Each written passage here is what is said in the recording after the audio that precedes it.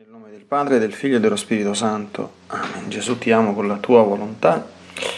Vieni, divina volontà, a pregare in me, poi offri questa preghiera a te come mia per soddisfare le preghiere di tutti e per dare al Padre la gloria che dovrebbero dargli tutte le creature. Mia Divina Maria, ti amo nella divina volontà, Regina Immacolata, Celeste Madre mia, vengo sulle tue ginocchia materne per abbandonarmi nelle tue braccia, per chiederti con sospiri più ardenti che mi ammetta a vivere nel regno della divina volontà. Mamma Santa, tu che sei la regina di questo regno, ammettimi a vivere in esso affinché non sia più deserto, ma popolato dai figli tuoi. Perciò, sovrana regina, te mi affido affinché guidi i miei passi nel regno del potere divino e stretta la tua mano materna guiderai tutto l'essere mio perché faccia vita perenne nella divina volontà. Tu mi farai da mamma e come mamma mia ti faccio la consegna della mia volontà affinché me la scambi con la divina volontà e così possa restare sicuro di non uscire dal regno suo. Perciò ti prego che mi illumini attraverso questa meditazione per farmi comprendere sempre più e sempre meglio che cosa significa volontà di Dio e come vivere in essa. Ave Maria, piena di grazia, il Signore è con te. Tu sei benedetta fra le donne benedetto è il frutto del tuo seno, Gesù. Santa Maria, Madre di Dio, prega per noi peccatori, adesso e nell'ora della nostra morte. Amen.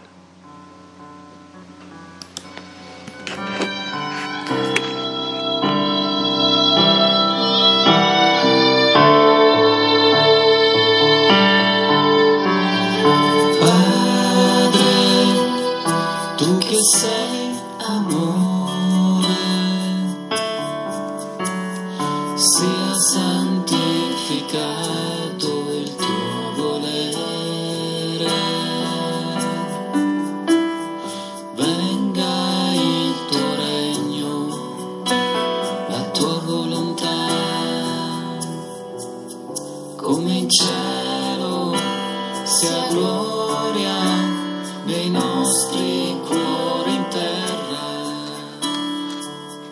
Donaci tre pani della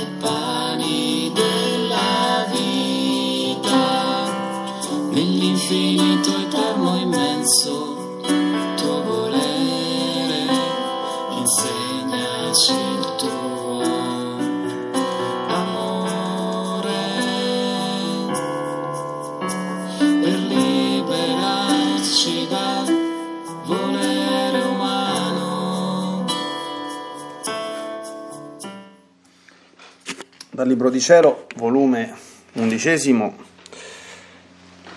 capitolo 50, 24 marzo 1913. Mi sentivo un certo scontento per le privazioni del mio sempre amabile Gesù, e lui venendo appena mi ha detto, Figlia mia, che fai? Io sono il contento dei contenti. Stando in te e sentendo degli scontenti, ti vengo a riconoscere che sei tu. E quindi non mi riconosco solo in te, perché gli scontenti sono parte della natura umana, non divina. Mentre la mia volontà è che l'umano non più esista in te, ma solo la mia vita divina.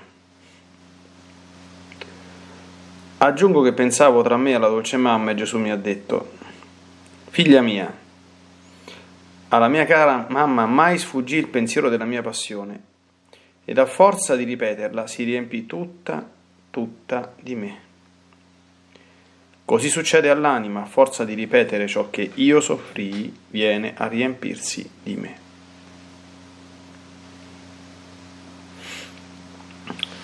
Capitolo 51, 2 aprile 1913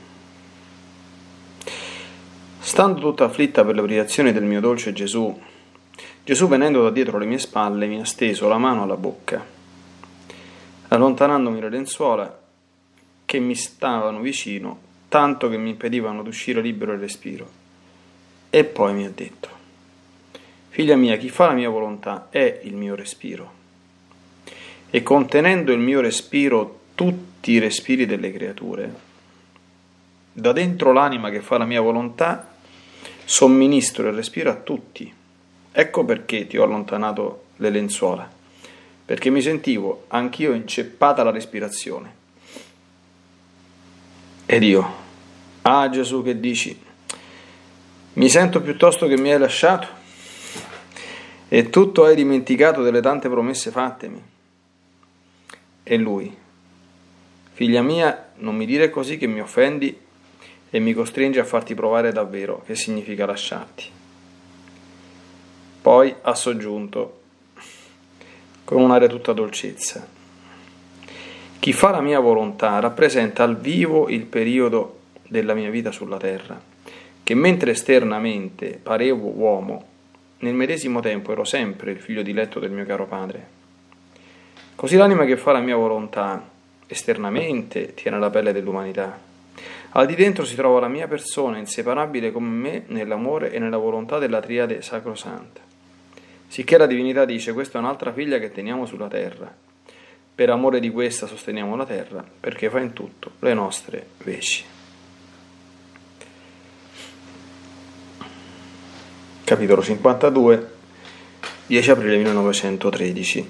Questa mattina il mio sempre amabile Gesù è venuto ed abbracciandomi al cuore mi ha detto: Figlia mia, chi pensa sempre alla mia passione forma nel, mio, nel suo cuore una sorgente e quanto più vi pensa, tanto più questa sorgente si ingrandisce.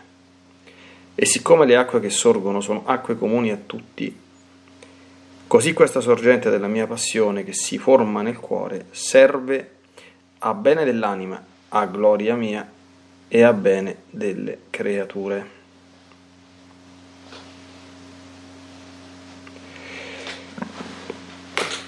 Ed io, dimmi mio bene, che cosa darai in compenso a quelli che faranno le ore della passione come tu me le hai insegnate?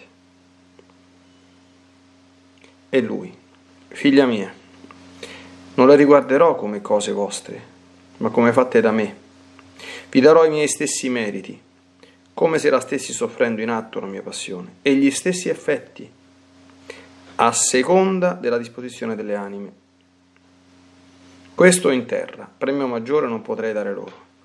E poi in cielo me li metterò di fronte, saettandole con saette d'amore, e di contenti per quante volte hanno fatto le ore della mia passione, e loro saetteranno me. Che dolce incanto sarà questo a tutti i beati.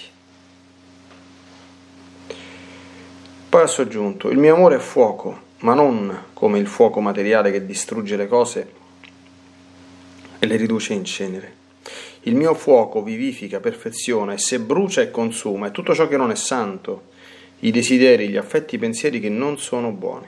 Questa è la virtù del mio fuoco. Brucia il male e dà vita al bene.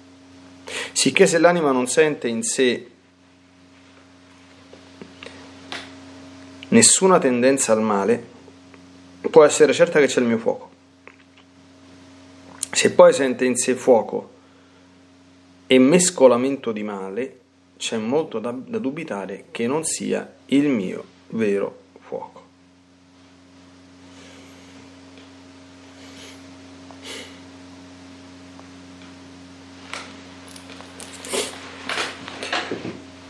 Bene, ci addentriamo con l'aiuto dello Spirito Santo e alla scuola di Maria Santissima dentro queste brevi e intense lezioni odierne di Gesù eh, articolate, ecco, sono legate un pochino da un, da un piccolo filo ecco, che lega il primo e il terzo capitolo che è l'accenno nel primo, l'approfondimento nel terzo alla passione del Signore. Il primo si chiudeva dicendo a forza di ripetere ciò che io soffrì, l'anima viene a riempirsi di me, no? E, e nell'ultimo abbiamo sentito delle parole stupende dette da Gesù su chi fedelmente e costantemente impara a pregare con le ore della, della passione, che tutti sappiamo non è semplicemente una meditazione sulla passione di Gesù, ma è molto di più, come certamente avremo modo di, di rimeditare. Allora, la prima cosa, ecco. Luisa, come sempre, questa è una costante, ormai chi legge gli scritti delle volte ha anche qualche dire, gesto di, non dico, ecco, eh, impazienza, ecco, neanche fastidio, ma un'espressione del tipo ecco, siamo alle solite, nel senso che molti capitoli si aprono sempre trovandomi nel mio solito stato, mi sentivo di morire per le privazioni, per le assenze del mio Gesù. Quasi tutte sono tutte quante così, quasi tutte, molte sono, sono così, no? E abbiamo già visto tante volte quanto questo sia comprensibile, quanto questo sia una grande pena, eccetera, no? Però molte volte proprio da questo Gesù trae spunto per qualche insegnamento, delle volte non, non non, non se la fila per niente, insomma, lui nel senso che comincia a parlare di altro. Altre volte, come per esempio qui, al principio del capitolo 50, invece proprio da questo trae occasione per un piccolo insegnamento, ed è questo. Io sono il contento dei contenti. E quindi che significa? Significa che se dentro la nostra anima noi facciamo albergare qualche scontento, fosse anche comprensibilissimo e giustificatissimo come questo di Luisa, diamo vita alla nostra componente umana e non divina. Quindi non bisogna secondare nessun, questo significa per noi operativamente, non bisogna secondare in nessun modo nessun pensiero di scontentezza. Allora, essere contenti non vuol dire cioè, che non si stia momentaneamente in atto soffrendo, no? ripetiamo che le sofferenze delle privazioni di Gesù per chi ha avuto queste cose sono delle cose atroci, ecco. Però il problema, la contentezza o la non contentezza è la nostra reazione psicologica, emotiva alla situazione di sofferenza. Cioè, Gesù non c'è e io sto tanto male. Fino a questo non c'è niente di male. Non è un problema, perché anzi Gesù è, è ovvio che sia così, d'accordo? E attraverso questi dolori di queste sue anime certamente Gesù trae diletto e anche riparazione per i molti che non se lo filano proprio, che non lo desiderano, eccetera, no? Eh, il problema è, dinanzi a questo io che faccio? Faccio un bel fiat e pur soffrendo ma riconoscendo che Gesù eh, non ci viene perché non ci vuole venire, perché lui potrebbe venire, ma se non ci viene non ci ha voluto venire. E quindi, nonostante la sofferenza, faccio un bel super fiat e mi metto sereno, godendo anche paradossalmente di questa cosa che pur essendo dolorosa, ma è sua volontà, quindi è sua volontà senza dubbio, su questo proprio non c'è proprio nessun dubbio. Immaginate un'anima che vive una cosa di questo genere, non è che può tirare giù dal cielo Gesù.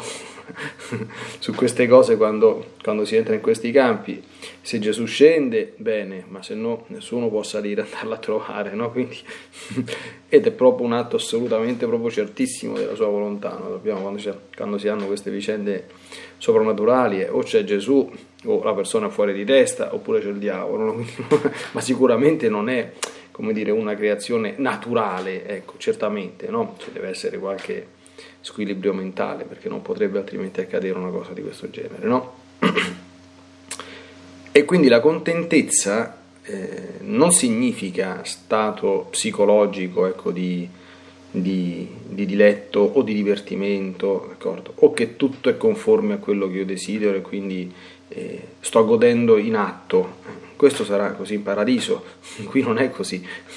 Ecco, ma significa che la forza che ehm, ha il rimanere sempre uniti ai divini voleri, qualunque essi siano, produce quella profonda contentezza dell'anima che è appunto corollario di quella quiete, perché sto nella divina volontà e quindi non mi discosto neanche respingere. Certamente l'anima mm, può, e sicuramente Luisa lo faceva, no? quindi può interloquire ecco, con questi chiamiamoli giochi d'amore che fa il cielo, invocando Gesù certamente, desiderandolo certamente, questo lo si può fare anche in, nella nostra comune vita ordinaria quando avvertiamo i momenti di, di distacco, di, di aridità, ma un conto è esprimere un desiderio, un languore d'amore unito sempre alla divina volontà. Un conto è lamentarsi oppure intristirsi, pensare a quanto era bello quando Gesù c'era e adesso non c'è più e addirittura passiamo al secondo paragrafetto, uscirsene con una frase, insomma, che anche questa è, la frase di una innamorata, insomma, che sta male in assenza de, de, dell'amato, no?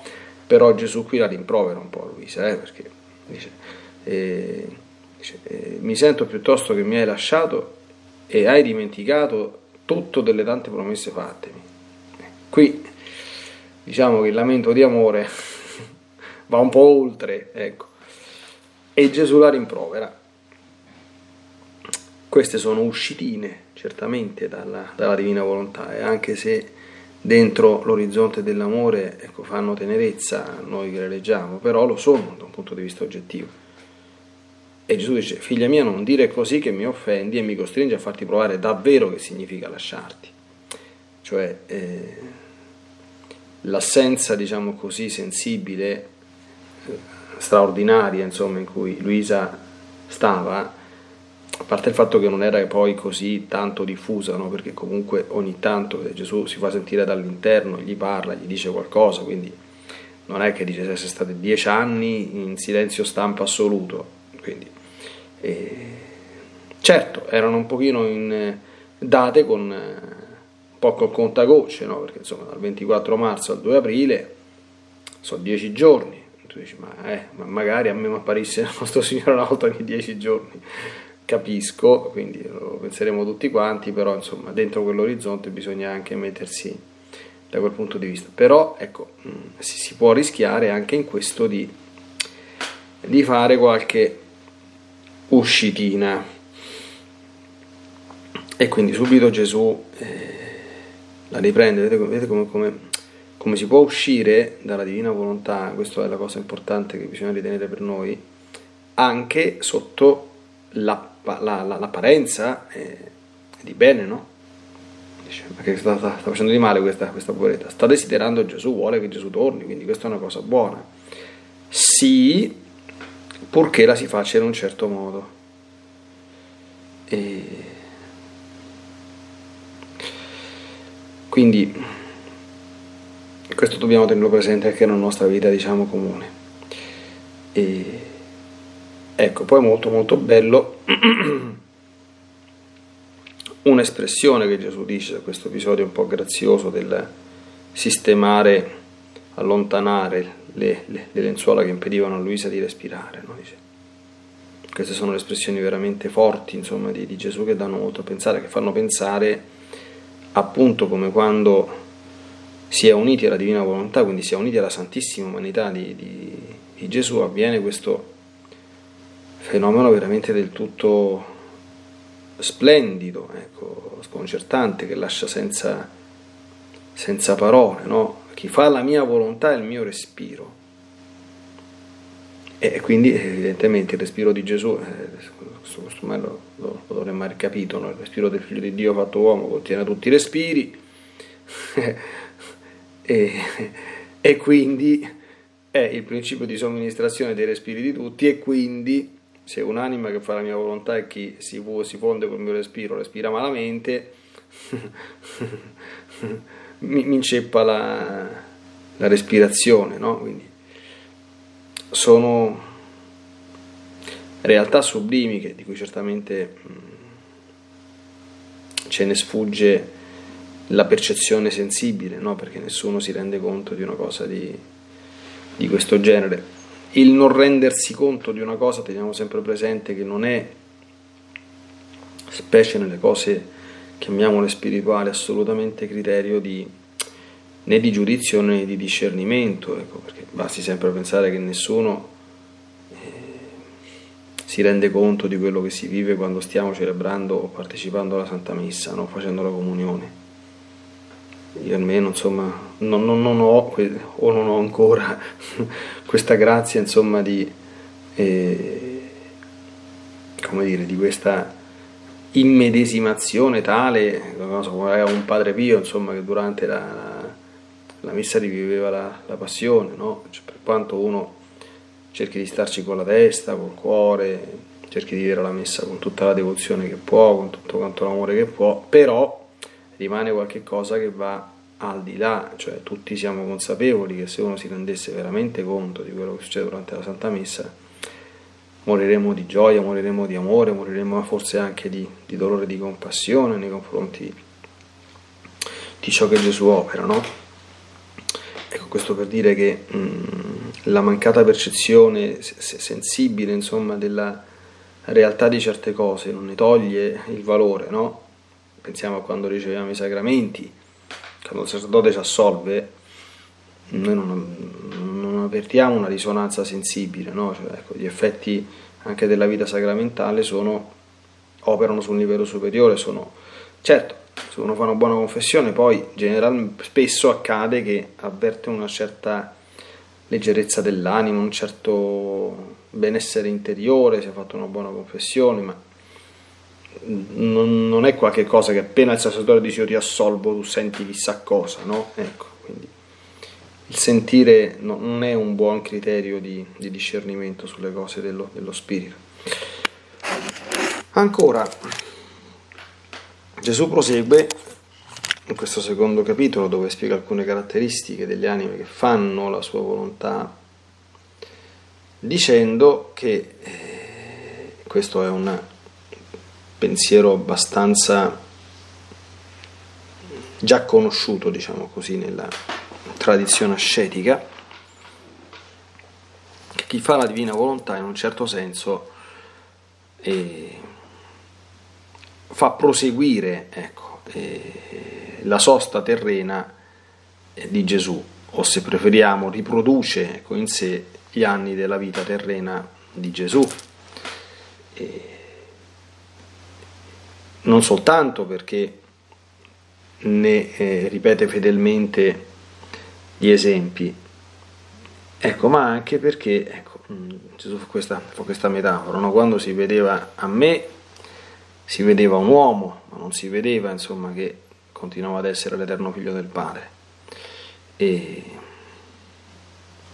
è così, questo l'abbiamo visto tante volte, l'anima che fa la divina volontà non ha delle stravaganti o appariscenti eh, caratteristiche e connotazioni esteriori. Esteriormente non si percepisce nulla, perché la vita nel divino volere è tutta quanta interiore, salvo, come si percepivano insomma alcuni tratti divini, ecco, che traducevano dall'umanità di Gesù, così si vedono le virtù eh, messe in atto, insomma, da chi vive nel, nel divino volere, ecco, ma nulla di, di altro, no? E tuttavia il bene che, che, tale vita fa ridonda a beneficio dell'umanità intera, no?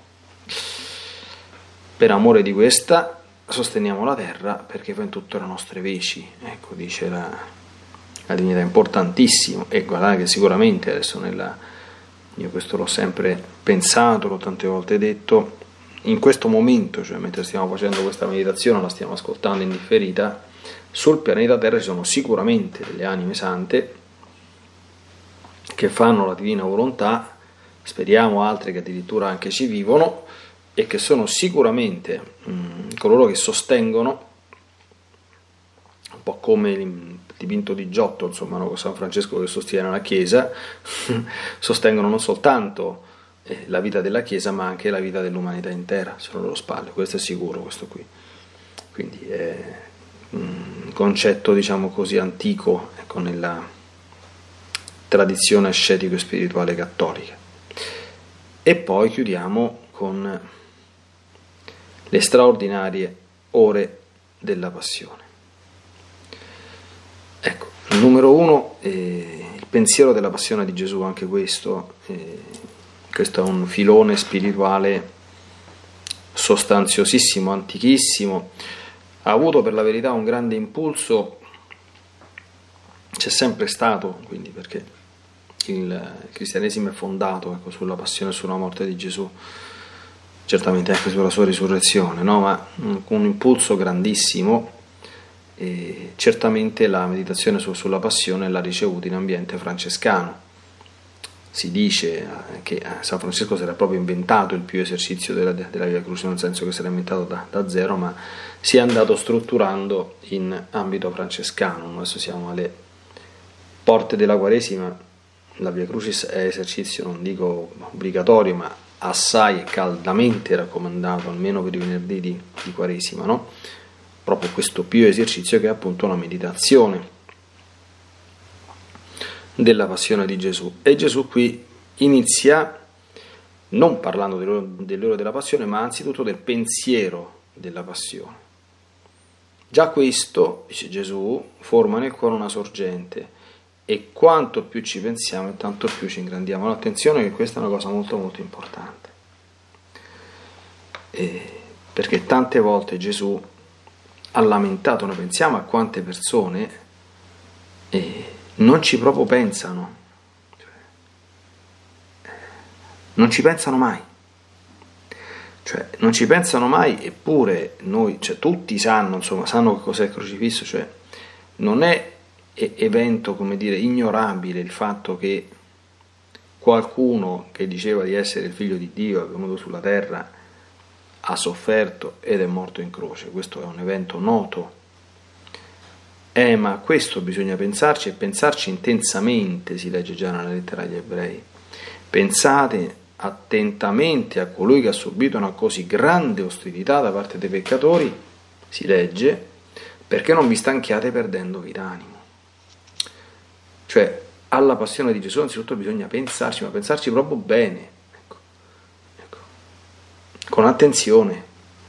E quindi facendo un oggetto, questo è anche poi insomma il fine della, della Via Crucis, no?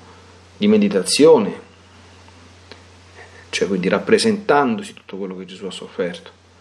E poi soprattutto tenendo sempre presente perché ha sofferto e per chi ha sofferto, chi ne è la causa durante la Via Crucis, la Via Crucis nelle nostre parrocchie, insomma, no? Forse si canterà qualche canto popolare dove si ripete in quel modo semplice e tanto caro, però a mio avviso al Signore, sono stati i miei peccati, Gesù mio, perdon pietà, questo dobbiamo pensarci. E perché il pensiero deve suscitare il dolore, la compartecipazione alle sofferenze di Gesù e anche il dolore dei nostri peccati perché io ci devo pensare che eh, hanno sputato in faccia a Gesù, ma quello è stato fatto per causa mia, non per causa di qualcun altro, per causa mia. Ecco, questo non è, questo è un pensiero che porta certamente poi anche a lacrime profonde, ma quando certamente adesso ci si dedica con, con attenzione e non pensarci mai è colpa noi non possiamo non pensare a queste cose, eh? cioè la Chiesa nella sua sapienza, perché ci mette anche nell'anno liturgico, adesso abbiamo 47 giorni dal, dal giorno delle, delle, delle, cene fino proprio a Pasqua, eh, perché c'è anche poi la settimana santa che chiude il ciclo della, della Quaresima, perché dobbiamo pensarci. E durante la Quaresima ci si deve pensare, non solo durante la Quaresima, no? perché il senso di, di questi tempi liturgici è che la Chiesa ci deve portare la, a concentrarci bene, no? Ogni venerdì è tuttora, eh, adesso la gente eh, comune dice, il venerdì di Quaresima non si mangia la carne, no, veramente la carne non si mangia mai, solo che nei venerdì non di Quaresima la conferenza episcopale italiana ha autorizzato a sostituire quindi l'astinenza dalle carne con un altro gesto penitenziale che però deve essere fatto. Perché non si può far passare il venerdì senza pensare alla passione e alla morte di Gesù. Non si può. Eh, perché è una cosa grossa. Ecco, quindi anzitutto il pensiero. Ecco. E, ripeto, mentre il pensiero forma una sorgente e solo pensarci a tutte queste cose si ridonda a bene dell'anima, a gloria di Dio, e a bene delle anime. Solo pensarci. Noi sappiamo che però le ore della passione, come dice Luisa, come tu le hai insegnate, hanno un, un surplus. perché le ore della passione hanno lo scopo di, fatte nella divina volontà, di farci, come dire, di farci vicini a Gesù, di fargli sentire il nostro amore, il nostro ricambio, quindi di viverla con Lui la passione, non come una metafora eh, o come un pio pensiero, ma come un atto reale, perché fondersi con la divina volontà significa farsi presente annullando i confini di spazio e di tempo, esattamente a quello che è successo. Quindi quando si fanno dei gesti di amore, dei gesti di riparazione di cui sono intrise le ore della, della passione, no? compresi i gesti dei baci alle piaghe di Gesù, eh, questi sono episodi che realmente accadono anche se nel mistero. Ed ecco perché Gesù dice le, le guardo non come cose vostre ma come fatte da me e vi darò i miei stessi meriti, come se la stessi soffrendo in atto la mia passione. Parole sue. E gli stessi effetti a seconda della disposizione delle anime. Io penso che la, la portata santificante delle ore della passione per chi le fa e per tutti, perché farle ridonda a beneficio di tutti sia davvero una cosa molto ma molto grande. E, e poi insomma sono molto belle le promesse che Gesù formula a proposito di ciò che accadrà in futuro a chi ha fatto queste cose, no? quindi la, la, la, il settarsi reciprocamente d'amore tra l'anima che ha fatto l'ora della passione e Gesù. Ecco, lì si alimenta il fuoco divino dell'amore. Ecco, a contatto con l'ora della passione certamente quello che Gesù diceva sul fuoco, che vivifica e perfeziona tutto il bene e brucia e consuma tutto ciò che non è santo, i desideri, gli effetti, i pensieri che non sono buoni, certamente cosa che accade e, e che dobbiamo sperare che accada. Ecco, fino al punto che mano a mano che si cresce nell'unione col divin volere, le tendenze al male che avvertiamo scemano, calano, ecco, diventano sempre meno forti. Ecco. E anche questo è un criterio di, di discernimento. No? Quando le sentiamo un pochino troppo ravvivarsi, vuol dire che stiamo facendo delle corpose uscite dalla divina volontà. Quando le sentiamo invece poco forti e poco vive, significa che stiamo vivendo in una buona unione eh, spirituale e operativa con i divini voleri.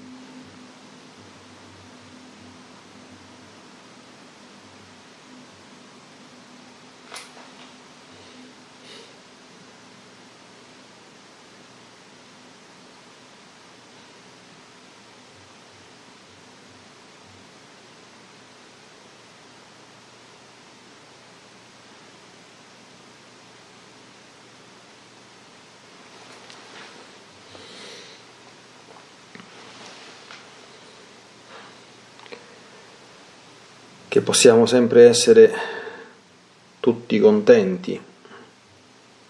Le favole concludono sempre dicendo vissero felici e contenti. Ecco, ma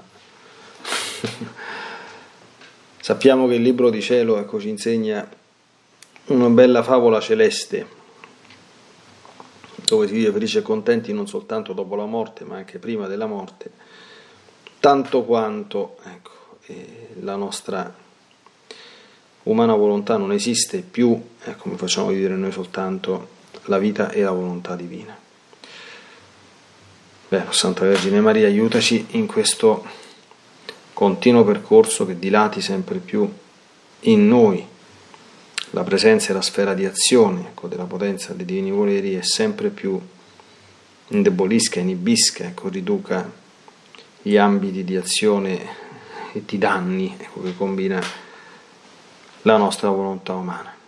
Tienici anche una grande stima delle ore della passione e una grande fedeltà, costanza e perseveranza nel non mancare mai con la celebrazione quotidiana di almeno un'ora della passione.